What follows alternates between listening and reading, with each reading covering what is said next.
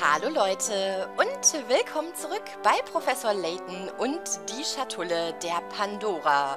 Ja, die letzte Folge hatte ziemlich Überlänge, denn wir haben endlich ein bisschen was über die Story erfahren, beziehungsweise sind vorangekommen und haben erfahren, dass die gute Flora gar nicht Flora ist, sondern der Bösewicht Don Paolo.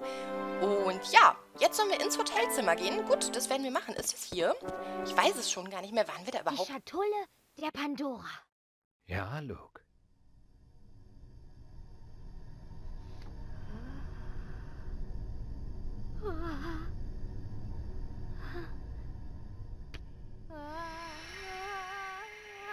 Ich kann nicht hinsehen. Hm?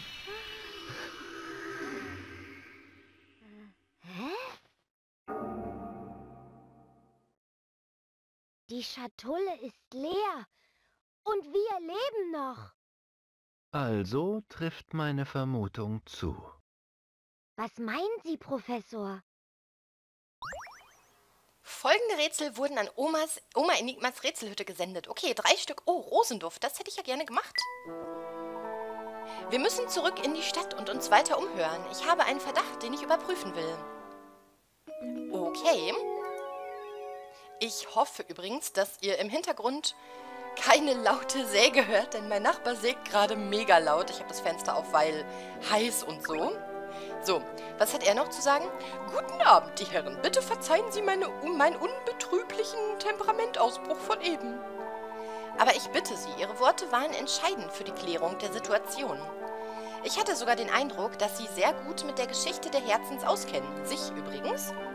Nun, das könnte man wohl sagen. Zu Lebzeiten beehrte der Herzog unser bescheidenes Hotel oft mit seiner Gegenwart. Ich weiß noch genau, wie freundlich er stets zu mir war, obwohl ich nur ein einfacher Bediensteter war. Als der Herzog noch unter uns weilte, strotzte Foulsense nur so voll Leben und Energie. Aber als die Mine dann geschlossen wurde und der Herzog starb, wurde es so furchtbar düster hier. Wer trat sein Erbe an, nachdem der Herzog verstorben war? Hatte er noch weitere Nachkommen? Wenn ich mich recht erinnere, nahm der Bruder Herrn Belugas den Platz des Herzogs ein. Das ist alles, was ich mit Sicherheit sagen kann. Ich höre allerdings, dass der neue Herzog sehr jung ist. Und dann natürlich die furchtbaren Vampirgerüchte. Das ist alles, was ich weiß. Okay. So, dann machen wir uns doch mal auf den Weg in die Stadt. Finde in der Stadt Hinweise. Oh ja, der verrückte Sammy, den quatschen wir auf jeden Fall an. Na, hallo, meine edlen Retter. Nur dank euch hat mich Sheriff Schnauz nicht ins Kittchen verfrachtet. Als kleines Dankeschön habe ich mal mit dem Kurator souffliert, euch das Museum aufzusperren. Ist nicht die Welt, aber vielleicht findet ihr dort irgendwas, was euch weiterbringt. Schaut unbedingt mal rein. Danke, Sammy. Das wäre ja fast haarig für Sie geworden, was? Ich bin immer noch ganz baff, dass Herr Beluga selbst der Herzenfamilie angehört. Ja, mein Onkel hat nie besonders viel darüber gesprochen. Ich weiß, dass er die Stadt nach irgendeinem Streit mit dem, seinem Vater verließ, dem Herzog. Sein Bruder erwähnte er aber oft. Er hatte ihn wohl lieb, obwohl er ihn verlassen hatte. Aber nun hat sich dieser faulige Vampir im Schloss eingenistet. Ich sage es ja nur ungern, aber der Untote hat den Herzog wohl kaum am Leben gelassen, als er einzog. Okay. Oh, Tagebuchschlüssel. Ja, cool. Luke und Professor Layton beschließen erneut, das inzwischen geöffnete Museum aufzusuchen. Das ist wunderbar. So, ich werde aber mal kurz hier ins Tagebuch gucken. Heute ist ein Tag der Freude. Nach langem Werben meinerseits stimmte das Mädchen, das ich liebe, endlich zu, mich zu heiraten. Ich muss mich sofort auf ihre Ankunft vorbereiten. Ich würde das ganze Schloss umkrempeln, um es für sie gemütlicher zu machen. Ich werde außerdem ein besonderes Kleid für sie in Auftrag geben. Sie wird darin zauberhaft aussehen, das steht ganz außer Frage. Ach, wie schön romantisch. So, wollen wir sie nochmal ansprechen? Aber sie weiß anscheinend nichts. Früher gab es in Folsense viele Adelsfamilien. Doch dann fand Herzog Herzen Gold am Rande der Stadt. Dadurch änderte sich alles. Folsense entwickelte sich äußerst rasch, doch das Gold lockte auch viele zwielichtige Gestalten an. Ach, was für eine Schande. Dabei war Folsense mal eine so bezaubernde Stadt. Okay. So, ich denke, wir machen uns auch direkt auf den Weg. Wer weiß, was uns hier unterwegs noch begegnet. Das war der mit dem Rätsel. Welcher war das nochmal? Habe ich das in der letzten Folge gelöst? Hatte der überhaupt noch eins? Ich bin früher mal durch die Gegend gerannt, aber jetzt bin ich sofort müde. Ob ich alt werde? Okay, das war der mit den Blumenbeeten. Das wird nach wie vor aufgeschoben bis, bis weiß ich nicht, bis ganz zum Ende. Sie möchte vermutlich einen Tee, ne? Das kriege ich wieder nicht vernünftig hin. Deshalb machen wir uns, wie gesagt, echt auf den direkten Weg. Ihr zwei steht da auch gerade nur rum. Okay, kann ich jetzt nach rechts gehen? Ja, kann ich. Sehr schön. Er steht da auch erstmal nur rum.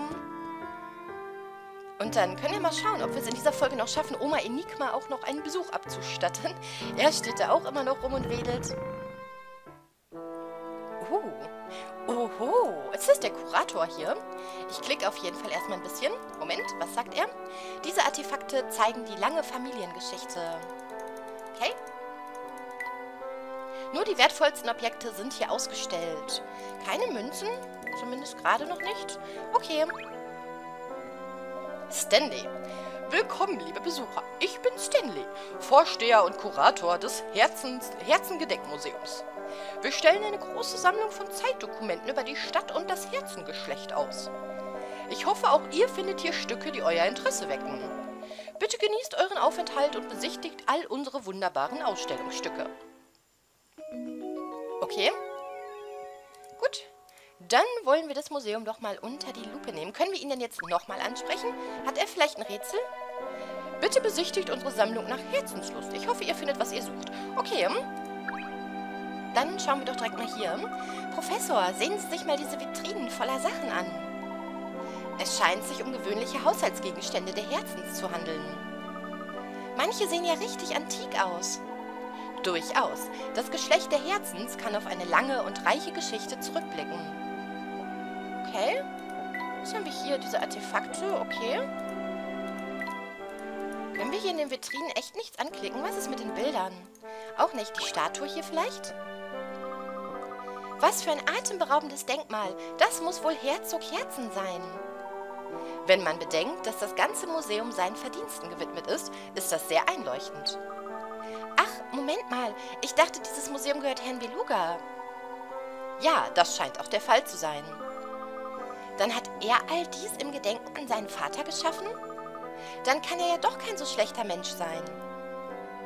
Okay, können wir denn hier... Ach, wir können hier sogar rumlaufen. Ist natürlich fantastisch. Uh, uhu, wen haben wir da oben?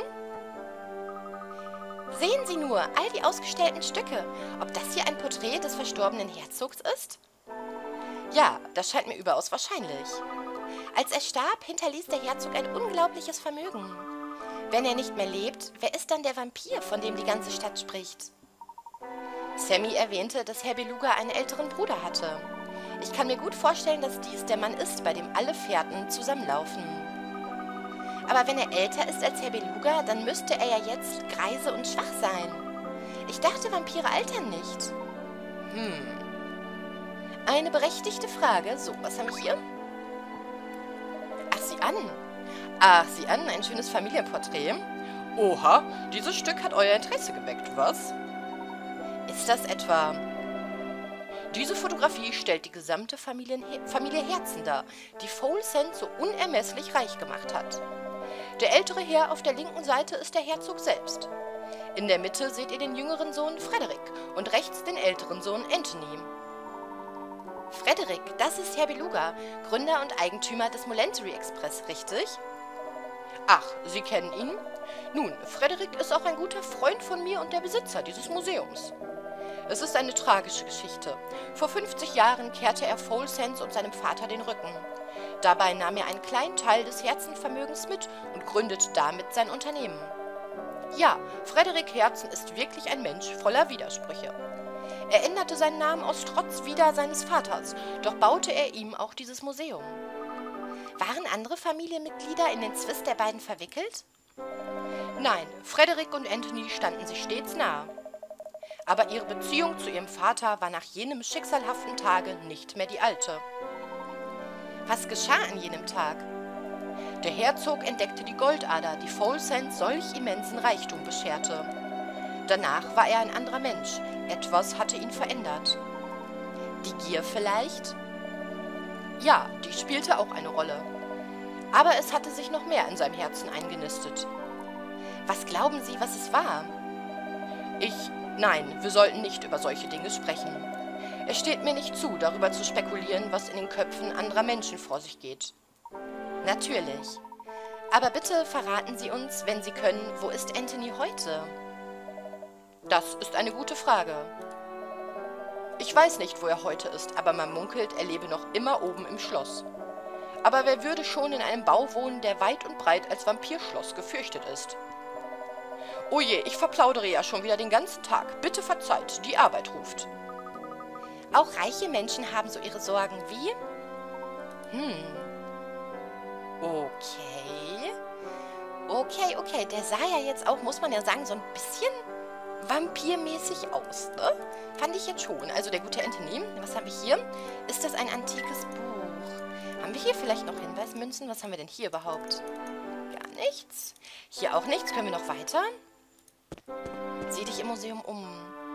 Sind wir wieder hier? Geht es denn noch weiter? Da geht es nur zurück. Nee, dann müssen wir noch was übersehen haben. Können wir das hier vielleicht anklicken? Nee, auch nicht. Das war das Bild. Ja gut, da wiederholen jetzt wahrscheinlich alles, ne? Dies ist also der verblichene Herzog Herzen. Okay. So, hier nix, am Teppich nix, da nix. Hm, das sieht nicht so aus, als könnte man hier noch was machen. Sagen die zur Statue noch was? Oder kommen wir da oben hin? Nee. Kann ich ihn nochmal ansprechen? Ich nehme an, ihr beiden wollt die Geheimnisse der Schatulle der Pandora ergründen, stimmt's? Ja, das stimmt. Sie wissen nicht zufällig Näheres darüber? Wie ihr sicherlich wisst, ist die Schatulle ein Familienerbstück der Herzens. Wir studieren hier in Herrn Belugas Auftrag die Geschichte der Herzens und dieser Stadt. Bei eben diesen Studien bin ich auf ein bestürzendes Geheimnis gestoßen. Dieses Geheimnis birgt die Wahrheit über die Schatulle der Pandora. Faszinierend. Von welchem Geheimnis sprechen Sie? Diese Frage sollten Sie nicht leichtfertig stellen, mein Herr. Die Folgen könnten fatal sein. Aber wenn ihr euren Wissensdurst partout stillen müsst, dann besucht die alte Mine am Stadtrand. Die Bergarbeiter dort führen Buch über ihre Arbeit und ihr Leben unter Tage. Wenn ihr solch ein Tagebuch findet, könnt ihr selbst erfahren, was sich damals zugetragen hat. Danke für den Rat. Wir werden uns selbst dort umsehen. Komm, Luke, machen wir uns auf zur Mine. Okay, uh, Tagebuchschlüssel. Ja. Und es geht zur Mine. Das ist schön. Ich freue mich immer über neue Gebiete. Finde ich immer toll. So, als allererstes gucken wir aber nochmal ins Tagebuch. In der ganzen Stadt grassiert eine rätselhafte neue Krankheit. Einige behaupten, unsere Stadt wäre mit einem Fluch behaftet. Als einziger Erbe des Herzogs, der sich noch um Folsense schert, ist es für mich ausgeschlossen, der Stadt den Rücken zu kehren. Hätte ich nicht meine Verlobte zur Seite, wäre ich sicher schon verzweifelt. Sie gibt mir die Stärke, die ich brauche, um die Stadt zu beschützen. Okay. Okay, okay. Also auf zur Mine. So, wo ist die denn wohl?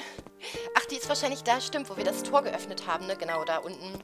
Und dann nach links. So, ich lasse ihn da jetzt einfach mal stehen. Der weiß meistens sowieso nichts zu erzählen. Und die beiden Damen lasse ich auch mal stehen. Gehen wir einfach hier hoch.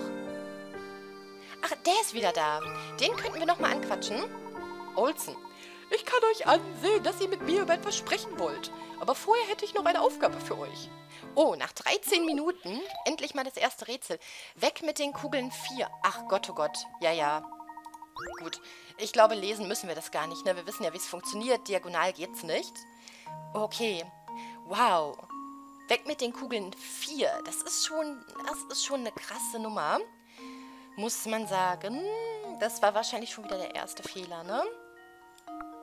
Ich probiere einfach mal, so gut es geht, hier irgendwie drauf loszuspringen. Das war vermutlich schon extrem blöd, weil jetzt kann ich gar nichts mehr machen. Okay, neu. Also ich meine, ein paar Minuten können wir uns ja schon hier dran aufhalten, finde ich. Hm, so. Das war wahrscheinlich schon doof. Ich kann ja jetzt nur... Nee, da mache ich den gleichen Fehler wie vorhin, nur seitenverkehrt. Ne? Ich könnte dann noch so machen. Nee, dann bekomme ich die hier unten nicht weg. Ich kriege dann den niemals raus. Das ist ja... Das ist ja sinnfrei. Das ist tatsächlich sehr sinnfrei. Okay, neu. So, ich kann aber doch im Endeffekt nur mit dem anfangen. Ich kann mit dem nichts machen. Ja, ich muss mit dem hier anfangen, oder? Dem geht nicht. Ja gut, na klar, ich könnte, ich könnte mit dem dahin. Oder aber hierhin, das wäre jetzt noch eine weitere Möglichkeit. Ähm, das bringt mir zumindest, dass ich die hier, die hier oben komplett wegmachen könnte. Wenn ich mit dem dahin springe, kann ich mit dem dahin, dann ist der unten aber wieder alleine. Dann mache ich das erstmal so. Mm, und jetzt habe ich, habe ich schon ein Problem? Ne, ich könnte den dahin, ich könnte den, ah, das ergibt aber wenig Sinn. Dahin. So, jetzt gut überlegen. Gut überlegen. Diagonal geht nicht. Ich kann den dahin setzen kann dann... Ach, doof. Doof. Kann dann den da hinsetzen. Ach, Mist. Ach, Mist. Doof. Doof, doof. Wie habe ich das jetzt gemacht? So, und dann habe ich die hier erstmal nach oben geholt, ne? Ich könnte den da hinsetzen, dann ist der aber zu weit weg. Ich glaube, das bringt nichts. Hm, vorhin habe ich den direkt dahin gesetzt, ne? Ich könnte das auch so machen. Dann könnte ich das so machen. Eieiei. Dann könnte ich, den hier runter ergibt keinen Sinn, dann haben wir nämlich da wieder die 3. Ich könnte mit dem hier nach oben, dann wäre der schon mal weg. Ich könnte mit dem hier nach oben, dann hätten wir da unsere 3. Könnte mit dem dahin springen. Könnte mit... Ne, Moment mal. Ich muss mir das gerade mal vorstellen. Also wenn ich den hier nach oben ziehe, da ist der schon mal weg. So, dann kann ich mit dem hier darüber springen. Ist der weg, habe ich nur noch den. Habe nach wie vor die beiden. Könnte mit dem da oben hin, dann wäre der weg, aber dann hätten wir die hier noch da. Okay, nee, das ist Quatsch. Und wenn ich mit dem hier darüber springe, dann ist das auch blöd, weil der hier so doof am Rand ist. Gibt es denn so noch eine andere Möglichkeit? Ja, wie gesagt, das hatte ich gerade. Das, das ist das gleiche, nur umgekehrt. Ich könnte mit dem darüber springen, bringt mir nichts, dann wäre der diagonal. So funktioniert es nicht. Nein. Ich möchte noch mal eben wissen, welche Möglichkeiten... Ach, Quatsch. Welche Möglichkeiten gibt es so? Nicht viele, außer hier oben. Außer hier oben was machen oder aber da und das bringt uns, glaube ich... Nee, das bringt uns nichts, da kriegen wir den da unten nämlich nicht mehr raus. Ähm... Der muss wahrscheinlich echt erstmal zur Seite. Das Blöde ist... Pass mal auf, das ist doch... Das ist doch recht symmetrisch angeordnet.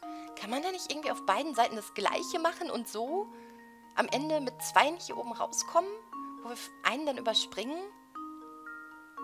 Ja, ich kann mit dem dahin, da ist der aber dazwischen. Das ist, das ist doof.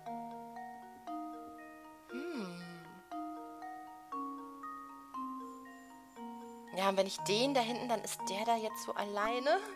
Huch. So. Das funktioniert mit den beiden da oben nicht. Ich könnte den da hinsetzen. Jetzt ist der weg. Nee, das kommt aufs gleiche raus wie vorhin, ne? Das hatten wir gerade eben. Also runter bringt mir nichts. Diagonal geht, wie gesagt, nicht. Ich kann nur den da hinsetzen. Oder den dahin, was überhaupt keinen Sinn ergibt. Also am ehesten dann so, aber dann haben wir wieder das gleiche Problem. Ich überlege gerade, wir hatten jetzt wieder so viel Dialog, sind bei knapp 19 Minuten. Einen Versuch mache ich noch. Und ansonsten schieben wir es erstmal auf, weil ein richtiges Rätsel hätte ich gerne in dieser Folge. Also ein gelöstes, finde ich immer ganz schön. Ähm, so, also nach oben ergibt nach oben ergibt nicht wirklich Sinn, weil dann kriegen wir die da unten niemals weg. Mache ich das nochmal so. Die beiden sind dann am Ende echt doof, ne? Wenn ich das erstmal so mache.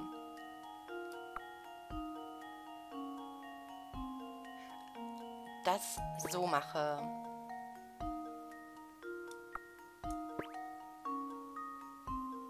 Nee, dann haben wir... Nee, dann haben wir das gleiche Problem wie immer. Nee, jetzt kann ich ja gar nichts mehr machen. Ich kann ja nur dahin oder dahin. Ja gut, oder aber nach unten. Aber was bringt mir das? Dann kann ich mit beiden nach unten und habe das dann so. Und diagonal geht ja nicht. Wisst ihr was? Wir geben es erstmal auf, ja. Und hoffen, dass wir... Gefällt euch mein Rätsel etwa nicht? Und hoffen, dass wir jetzt wenigstens noch ein anderes Rätsel hier in dieser Folge schaffen. Das wäre echt toll. Uh. Wer bist du denn? Uh, eine Weggabelung. Ist da vielleicht... Ja, eine Hinweismünze. Wie viele haben wir eigentlich? Ich glaube so 45, oder? Ja, noch eine. Schön. Ja, noch eine. Wow. Der sieht ja mal cool aus. Wer ist das? Ray. Ihr müsst ganz schön unerschrocken sein, wenn ihr euch in dieses Gebiet wagt. Aber das heißt nicht, dass ich nicht sehen will, was ihr drauf habt. Ich hätte da ein Rätsel für euch. Okay. Rätsel 87. Vier Kartenfarben, 40 Pikarat. So, hier siehst du ein einfaches Kartenspiel mit 16 Spielkarten. Es besteht aus je vier Karten der vier Kartenfarben. Kreuz, Pik, Herz und Karo. Das ganze Spiel soll in einem 4x4 Karten großen Feld abgelegt werden. Vier Karten liegen bereits an ihrem Platz. Lege die verbleibenden Karten so, dass in jeder waagerechten und jeder senkrechten und jeder diagonalen Viererreihen jeder Kartenfarbe vertreten ist. Tippe eine Karte an, um ihre Farbe zu ändern. Okay, das sollte man eventuell noch hinbekommen. Kartenfarbe. Ach so, die liegen da nur... Die sind nur so farbig markiert. Äh, jeder Kartenfarbe... Die sind nur so farbig markiert, um... Ähm, ja, das besser deutlich zu machen, oder? Denke ich jetzt mal. So, dann haben wir das so schon mal. Dann machen wir... Welche Reihe machen wir dann? Dann gucken wir mal nach dieser Reihe hier. Wir brauchen noch einen Pik und hier unten brauchen wir ein Kreuz. Gehen wir das erstmal so durch. So, das heißt, hier kann Karo hin. Und da könnte Herz hin. Wir gehen gleich, wenn ich das Ganze hier fertig habe, gehe ich alles nochmal genau durch und gucke mir das an. So, dann haben wir hier... Hm, was brauchen wir noch? Ein Kreuz und ein Karo. Da kann ja dann nur Karo hin. Und da kann nur Kreuz hin.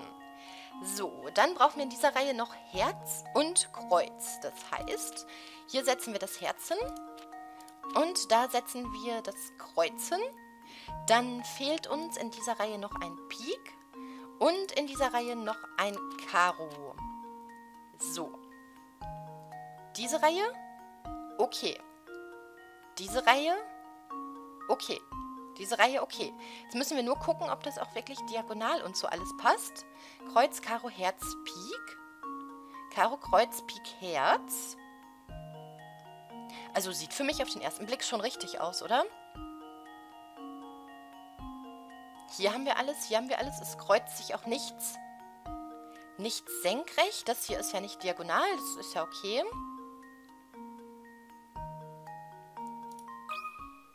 Machen wir einfach Ein mal. Rätsel ohne Lösung. Ja, schön. Wow, cool. Ein Gentleman löst jedes Rätsel. Mal super schnell ein Rätsel gelöst. Gut gelegt. Na, hat dich diese Aufgabe ins Knobeln gebracht? Dieses Rätsel lässt sich auch prima mit echten Spielkarten für einen Freund oder eine Freundin vorbereiten. Ja, das, das ging echt fix. Schön, das freut mich. Genau so habe ich mir das gedacht. Ihr habt ganz schön Rätseltalent. Passt mal auf, das Schloss Herzen liegt auf der anderen Seite des Waldes. Niemand traut sich dorthin, aber angeblich liegen die Reichtümer des Herzogs einfach dort herum. Falls ihr das Schloss betreten wollt, seht euch vor dem Vampir vor oder was auch immer da lebt. Okay. Gut, Leute, ich würde sagen, das war's für diese Folge. Ich hoffe, ihr seid beim nächsten Mal wieder mit dabei. Bis dahin, tschüss!